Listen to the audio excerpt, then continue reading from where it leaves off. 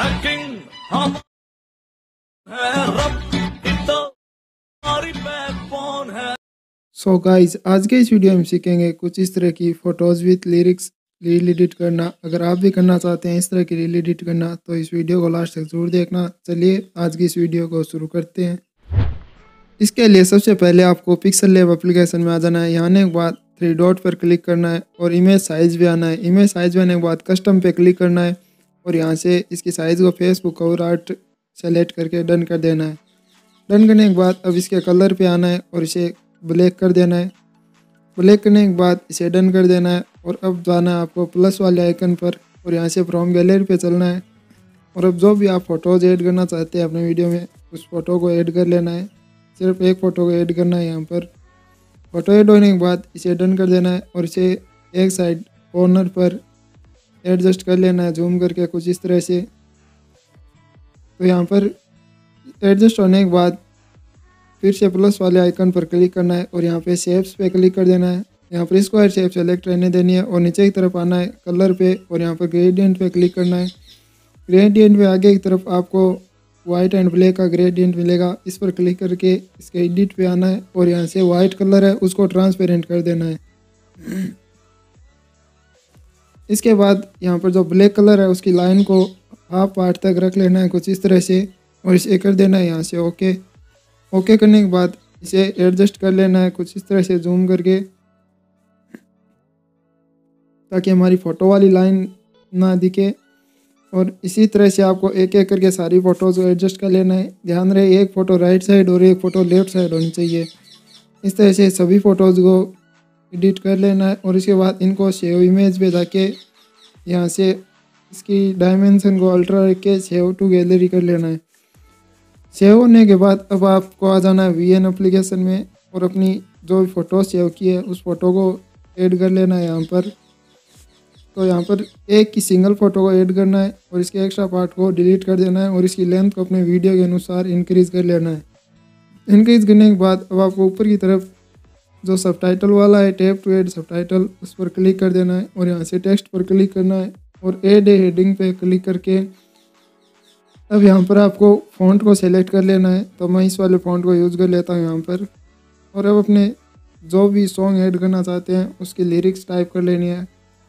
तो यहाँ पर शुरुआती जो लाइन है, उसको पहले टाइप कर लेना है। लिरिक्स को एक एक करके हमें सारी फ़ोटोज़ में लिरिक्स ऐड करनी है। तो पहले वाली फ़ोटो में मैं फ़र्स्ट लाइन को टाइप कर लेना है। तो मैं यहाँ पर जिस सॉन्ग का यूज़ कर रहा हूँ, उसकी फ़र्स्ट लाइन को ऐड कर लेता हूँ। ऐड करने के बाद इसे ब्लैक वाले पार्ट पर एडजस्ट कर लेना है कुछ इस तरह से। एडजस्ट करने के बाद अब इसकी लेंथ को नीचे वीडियो की लेंथ से मैच कर लेनी है और इसके मोशन पे आना है। और यहाँ पर इन एनिमेशन में ग्रेडियंट वाले एनिमेशन को दे देना है और इसे डन कर देना है। तो ये कुछ इस तरह से हो जाएगा। इसी तरह से आपको एक एक करके सभी फ़ोटोज़ में लिरिक्स टाइप करने और उनको एक्सपोर्ट पर जाकर गैलरी में सेव कर लेना है सभी को। और सेव करने के बाद जब सारे सेव हो जाए तो आपको फिर से एक न्यू प्रोजेक्ट ऐड करना है। और यहाँ पर आप जो भी अपने मेन वीडियो में बैकग्राउंड फ़ोटो रखना चाहते हैं, उस फ़ोटो को ऐड कर लेना है। फ़ोटो ऐड करने के बाद अपनी वीडियो की साइज़ को यहाँ से नाइन इंटू सिक्सटीन रेशियो रख लेना है और अपनी फ़ोटो को एडजस्ट कर लेना है परफेक्टली कुछ इस तरह से। एडजस्ट करने के बाद अब आपको फ़िल्टर पे आना है और यहाँ से एडजस्टमेंट पे आना है और यहाँ से अपनी फ़ोटो को थोड़ा डार्क कर देना है। और इसके लिए एक्सपोजर कम करना है, कॉन्ट्रेस्ट को बढ़ा लेना है और वाइब्रेंस को बढ़ा लेना है। और विग्नेट है, इसे पूरा बढ़ा लेना है ताकि कॉर्नर डार्क हो सके और शार्पनेस को बढ़ा लेना है। और इसे कर देना है यहाँ से डन। डन करने के बाद अब आपको इसके भी आगे के एक्स्ट्रा पार्ट को डिलीट कर देना है और इसकी लेंथ को भी बढ़ा लेना है। जितना आप वीडियो बनाना चाहते हैं, उस तरह से।